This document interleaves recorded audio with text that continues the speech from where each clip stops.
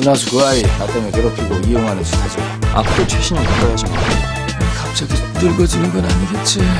최신영 씨 아무래도 신분 세탁한 것 같습니다. 그 사업 계획서 나한테 넘겨줄 것 같아. 정말 이거랑 맞바꿀 셈이야? 최영래 상무님이 회장님 되시더니 이 사람이 휘몰아치네요. 어차피 아무것도 하실 수 없잖아요. 아무것도. 우리 아버지가 늘 하시던 말씀이 있어. 밑바닥부터 배워라.